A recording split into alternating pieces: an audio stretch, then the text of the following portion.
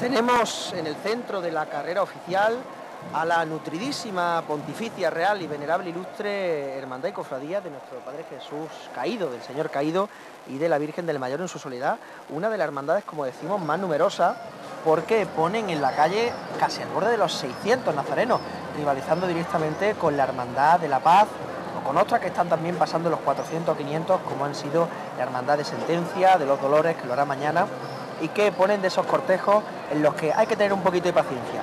Una paciencia que me van a permitir que me tome la licencia de tener un micrófono delante, que no me da ninguna autoridad, pero sí la posibilidad de pedir encarecidamente a la familia que intenten no meter carritos de niños en las muchedumbres.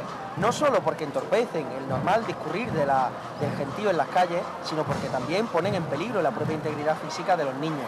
Hemos sufrido no pocos encontronazos en mi persona y también con anécdotas de compañeros, les rogamos por favor que intenten evitar los carritos de, bebés o de niños dentro de las multitudes, que como decimos, una multitud que siempre congrega el Señor de los Toreros, el Señor caído, y que ahora vemos con su característica, con su característico hábito de raso eh, morado en la túnica y el rostro negro, con ese efectón dorado propio también. Eh, que añade a la capa de terciopelo, una capa de terciopelo que también, por ejemplo, emplea la, Hermandad de los Dolores, una, unas capas de terciopelo que se pierden también en los años centrales del siglo XX. Eh, una hermandad que, como saben, celebra su 250 aniversario fundacional y también el quinto centenario del nacimiento de Santa Teresa, la fundadora de las Carmelitas Descalzas. Y ahí vemos también cuando salía esta tarde de su iglesia conventual de San José de San Cayetano ya el paso de palio casi era las 7 de la tarde cuando salía. El espíritu que se vive en las iglesias conventuales, ¿no? Yo respiro un, ambiente de mucha colaboración entre las hermandades este año, Rafael. Sí. Eh, la colaboración de las hermandades la hemos tenido, por ejemplo, en la Iglesia de la Trinidad este año, con un, con un quinario conjunto de las tres hermandades que estamos allí. Eh, se ha puesto de manifiesto la unión que hay entre todas, con su, cada una de sus particularidades, su personalidad y su idiosincrasia, pero a la voz de ya todos acudimos al unísono para realizar y dar un testimonio de fe como tiene que ser. Y ayudando, ayudando unas a otras, saliendo al paso de, de, la incidencia, de una y otra. que siempre hay, ¿eh? porque esto es de humanos y ya está pero que todo se arregla con buena voluntad, la gente de buena voluntad siempre tirará para adelante. ¿El caído y su 75 aniversario? Pues efectivamente aquí vemos esta hermandad ya eh, con tres siglos de devoción realmente, porque como saben, eh, también lo decía ya Rafael, la, devoción a Jesús caído trasciende eh, el vínculo carmelita de Córdoba, sino que es una vinculación universal y que además trae este porte tan añejo, ¿no? Un paso de palio que hunde su raíz en los años 50 y que no ha cambiado prácticamente su fisonomía desde las décadas centrales del siglo XX. Sí, así, eh, redundando en las órdenes religiosas, sin lugar a dudas, son las que traen la Semana Santa a, España. Eh, los franciscanos, como sabemos, son los que traen de Tierra Santa, traen esta manifestación de fe aquí a España. Eh, entonces lo retoman todas las órdenes, eh, como dijimos anteriormente, Carmelita en este caso con el caído, eh, dominicos con el rosario, trinitarios, las grandes órdenes, trinitarios los sus rescatados, ahí le tenemos ejemplo de Córdoba, el visto en Medina Celi y Madrid. o sea que todo esto es así proveniente, casi no, con toda seguridad y rigurosidad proveniente de las órdenes religiosas. Yo comentaba 75, 250 años del caído, que han hecho una posición impresionante en diputación, Muy bueno. un libro maravilloso y eso da muestra de, la, labor que está realizando el hermano mayor Rafael y todo su, junta, ¿no? Sí, eh, la hermandad realiza su labor, pero tiene que tener una apoyatura básica, esa apoyatura básica hasta las instituciones como la que tú representas, que se está inclinando y se está prestando a la grandeza de la Semana Santa de Córdoba. Por eso he dicho que cada uno tiene que aportar su granito desde su palo. En este caso las cofradías haciendo lo que hacen ¿eh? y las instituciones colaborando con ellas en medida de sus posibilidades. Porque también eh, muchas veces abusamos de las circunstancias y hay cosas que lo que no puede ser, pues no podrá ser nunca, ¿no? pero que con buena voluntad, como digo, eh, y en perfecta simbiosis, hay que levantar Córdoba en todas sus manifestaciones. Pues fíjense, en 1779, el jueves santo de ese año, ya salió por primera vez esta hermandad a la calle, apenas eh, un 15 años después de su fundación, y en esa época ya se mencionaba a la Virgen del Mayor Dolor, en esa primera estación de penitencia ya se le nombra a esta vocación eh, y se levanta una enorme expectación en la ciudad, eh, precisamente en uno de los, una de las anécdotas, porque a este Cristo también se le, se le socorrió en numerosas ocasiones para que o bien quitara la excesiva lluvia o eh, evitar a la sequía. Bien, pues con esta imagen que se producía al borde de las 7 de la tarde en la cuesta de San Cayetano, con esas rosas rosas eh, que tan felizmente venimos adornando, vemos ya aquí la sublime imagen de la reina de San Agustín, de la Virgen de las Angustias, entrando en la puerta del Orpedón, derrochando perdón por los pecados, después de que su hijo dijera la cruz que nos perdonaran por todo lo que no sabíamos que hacíamos. Hoy escribe un hermano, el hermano Luis de las Angustias, los pies guían los corazones donde toda la vida. Palacio de Malva y Oro. Yo creo que esa expresión define claramente lo que es este hecho que estamos viendo ahora mismo, ¿no? Las angustias en ese palacio de Malva y Oro. Los guíes guiando por esos pies que nos llevan la imagen es a donde toda la vida, Rafael, ¿no? Sí, totalmente. Eh, Voy a aprovechar la belleza de estas imágenes para despedir a nuestro querido invitado Salvador Fuente, que ha querido dedicarnos un trocito de esta tarde, como todos nuestros invitados, hacen un esfuerzo para evitarse las procesiones por las calles y venirse un rato aquí a nuestro palco de carrera oficial para comentar y acercarnos un poquito más a la Semana Santa todos. Me voy en silencio, Gonzalo, y ha sido un honor a Rafael y a Gonzalo, enhorabuena. Muchas gracias por estar aquí. Gracias pues como decimos, seguimos con el inexorable presente de la señal tan amablemente que nos cede el Cabildo y todo el mundo admirando a la hermandad propiamente de la hermandad de las angustias, con todo el público eh, congregado, con ese iris morado, con ese morado de flor que nos trae la señora de San Agustín, que después de casi 50 años volvió el año pasado a salir del del templo originalmente agustino, luego dominico de San Agustín, y hoy lo hace además para ir de su templo al primer templo de la diócesis, a la Santa Iglesia Catedral, y a recordarnos a todos que la muerte acaba en resurrección, Rafael. Ese es el fin, esa es la semblanza, ese es el todo. ¿eh? Siempre recordar que detrás de la vida viene la muerte y sin lugar lleva consigo la resurrección. No se puede concebir la vida del cristiano sin el misterio de la resurrección. Y por eso eh, tenemos que tener las cosas muy claras cada día más, de lo que vemos, de lo que realizamos y atentos siempre a que nos veremos donde tenemos que vernos, que es contemplando la imagen del Hijo con su madre. Estoy obligado a hacer una Virgen de la Soledad o Angustia para el convento de San Agustín de Córdoba, a la cual no le faltan tres días de trabajo. Era el testimonio del testamento de Juan de Mesa, que falleció el 26 de noviembre de 1627, el mismo año que también muriera el genial don Luis de Góngora, y que fue el encargo de Fray Pedro de Góngora, antiguo prior de San Agustín y por entonces ya provincial de la Orden Agustina en Andalucía, el intermediario que posibilitó eh, que esta imagen recalara en Córdoba. Ahí vemos la riquísima imaginería que traen las hornacinas del paso. Vemos en primer término, no puede ser de otra manera, la Virgen de la Fuensanta. La Virgen de la Fuensanta, patrona de las cofradías de Córdoba. Me acuerdo de la realización de este paso, mm, no se me olvidará nunca, eh, los talleres de Castillo Ariza, como él con su trabajo y su riqueza de bien hizo este magnífico paso que después en su respiradero, porque no tenía respiradero, y en los años 70 o 80 quiero recordar, lo hace Miguel Arjona, el recordado Miguel Arjona. Un Miguel Arjona de cuya tendremos esta tarde también testigo en el paso del Santísimo Cristo de Gracia y que teníamos una sublime imagen de Miguel Arjona en la Semana Santa de Córdoba, ese ángel confortador que procesionaba en el huerto y que muchos lamentaron su pérdida.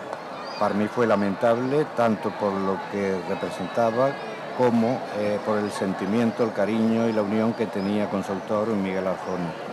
Para mí fue decepcionante, eh, pero cada uno es libre eh, de interpretar y hacer lo que crea oportuno, hay que respetar las decisiones de los demás, pero creo que perdió Córdoba la mejor imagen secundaria de muchos tiempos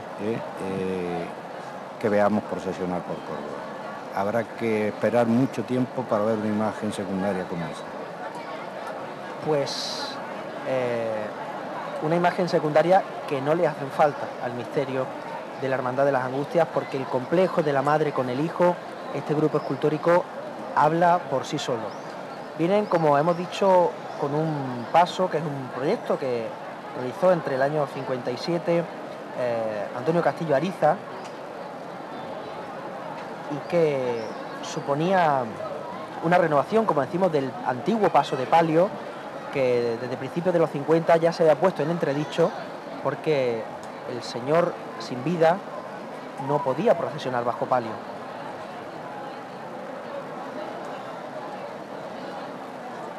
Y aquí vemos también eh, el manto negro, el manto de luto, porque esta hermandad también durante mucho tiempo trajo a la Virgen vestida con el manto morado. Sí, lo recuerdo, en muchas salidas procesionales eh, ha sido vestida con el manto morado, que es un manto precioso también.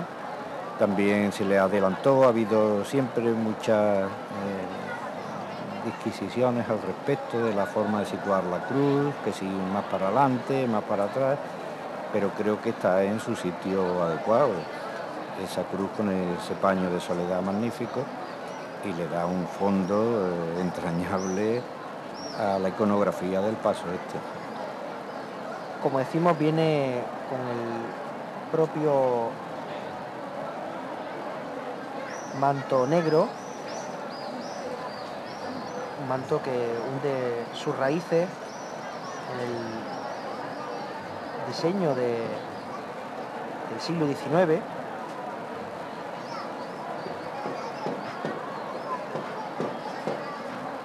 Aquí hay que ir recordando porque muchas veces, eh, los cofrades tenemos muchas veces la memoria muy perdida eh, y hay que homenajear, aunque sea eh, aquí en una tertulia, en una, en una retransmisión, hay que recordar a grandes personajes que han pasado por las cofradías con un mérito bárbaro. En esta cofradía, Morita Mora, eh, fue fundamental ¿eh? en el diseño, eh, la realización en grandes proyectos y ahí están. La Virgen de las Angustias traspasa el arco de bendiciones de la Puerta de las Palmas y se adentra en un jueves santo, no voy a decir irrepetible, pero sí inédito hasta ahora, siendo la única procesión de esta tarde de jueves santo que va a transitar por el primer templo de la diócesis, por la Santa Iglesia Catedral esa panorámica es impresionante. Entrando en la Catedral La Virgen, de espaldas, como podrán contemplar, magnífica. Los 40 costaleros que llevan esta altísima canastilla, como ven, eh, unas canastillas propias de, mitad del siglo XX, que hoy lo vamos a ver también en Jesús Caído, en el Cristo de Gracia y en el Señor de la Caridad. Las canastillas que entonces se estilaban que eran muy altas, pero eh, también muy cercanas al suelo. Eran son pasos que no se elevan demasiado del suelo, los costaleros no suben excesivamente eh, tras el paso, no lo despegan por la grandísima altura que tienen ya de por sí las canastillas. Y ven esa perspectiva única. Acuérdate, Gonzalo, de la canastilla del señor de Córdoba, el rescatado, enorme todavía iba a rueda a finales de los 90 hasta que se pasó a costalero. Efectivamente. Un calvario morado. Sí, el morado prevalece, está prevaleciendo en este Jueves Santo. Cosa característica importante. Del propio color litúrgico también de la cuaresma. Efectivamente. Y que vemos, como decimos, eh, vestida de luto, eh, un manto que, como decimos, el, que a veces fue tradicional, el manto morado, que tenía además la particularidad de tener el agujero central para que la cruz se pudiera incrustar dentro del manto y que bordaran eh, la esclava del Santísimo y la Inmaculada en los años 70 y sin embargo pues se ha preferido el manto negro, un manto que hunde sus bordados, como ya hemos dicho, a principios del siglo XIX, pero que en 2008 pasara Antonio Villar a bordado a un nuevo terciopelo, eliminando también algunos añadidos, porque es importante también el mantenimiento del importante, importantísimo patrimonio textil de las hermandades. Las hermandades tienen que mantener su patrimonio porque además de, de los enseres propios procesionales, hay una riqueza que es fundamental para mí, que es el patrimonio documental de esa cofradía. Creo que es esencial, porque tú puedes hacer una exposición con unas imágenes magníficas, con una... pero si no está escrito aquello no queda. ¿eh? Entonces el documento fehaciente es el que te va a reflejar eh, durante el tiempo lo que se hizo. Por eso, la acta de una cofradía, toda la documentación, tienen que tener las cofradías un archivero que entienda de, qué va esto, porque es el legado que vamos a dejar de por siempre, porque lo que hoy sabemos de Juan de Mesa es porque lo dejaron, lo que hoy se sabe de tal y cual porque está escrito, eh, por eso sabemos de los evangelios, porque están escritos. Pues un patrimonio documental que esta hermandad es uno de los grandísimos ejemplos y que mm, porque realmente el origen de esta hermandad se encuentra a mitad del siglo XVI, fundada en 1558, fíjense, a pesar de que no fue hasta los años 20, como ya hemos dicho, 1627, cuando se concluye la Virgen de las Angustias, porque en inicio esta hermandad daba veneración a un cuadro, a un cuadro original que no es raro, porque también en muchos templos, en muchos santuarios, recuerdo en este caso, por ejemplo, un caso que me toca, la Virgen de Gracia de Archidona es un cuadro realmente el valor estético de una imagen puede resultarnos más aparente a la vista, pero no por ello despreciable eh, una, pintura. Sí, sí, en muchos sitios de España, e incluso en Italia sobre todo, más que en España, se siguen procesionando en Semana Santa ¿eh? Eh, imágenes pictóricas que representan los momentos de la pasión, pero es una pintura, es un cuadro.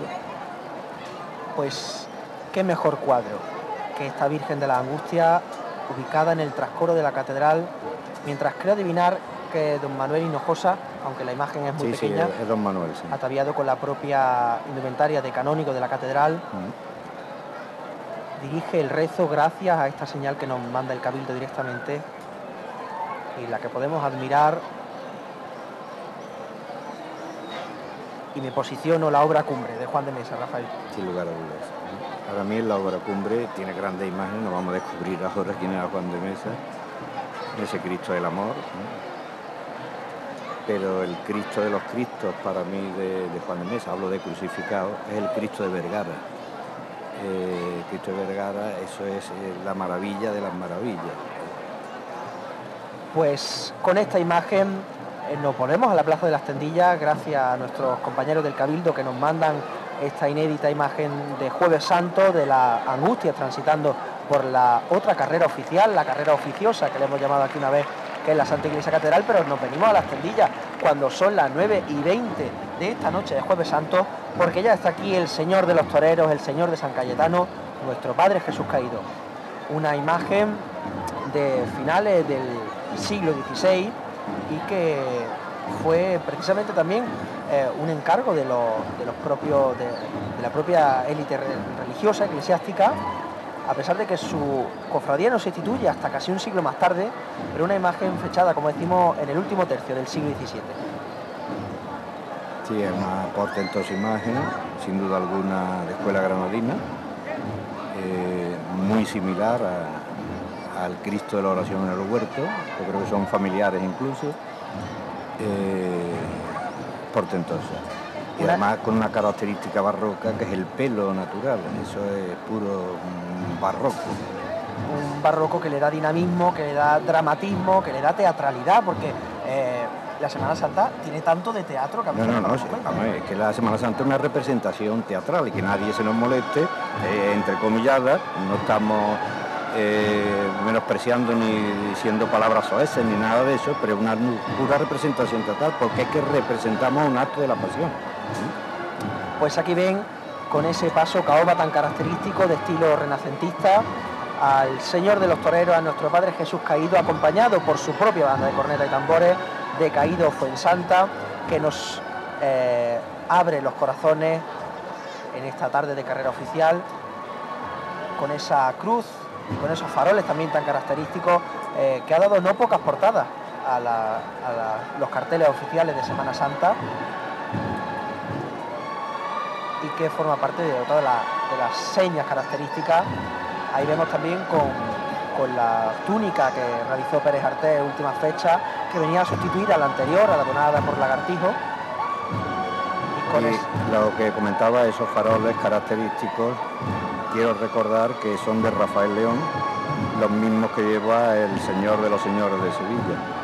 Pues le, le, dejamos escuchar a Caído Fuensanta para ver cómo el señor Caído de San Cayetano triunfa en la carrera oficial de este Jueves Santo.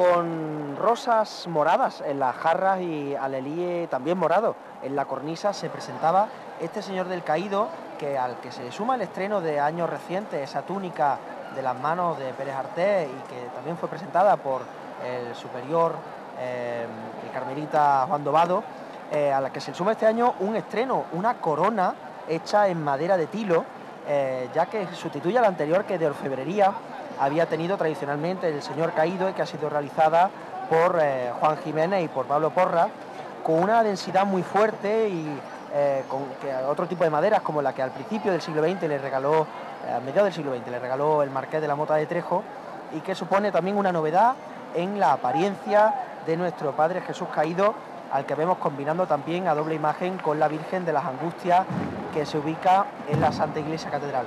Saliendo de carrera oficial, eh, eh, Rafael, nos tenemos que a, publicidad, pero no quería desaprovechar la ocasión.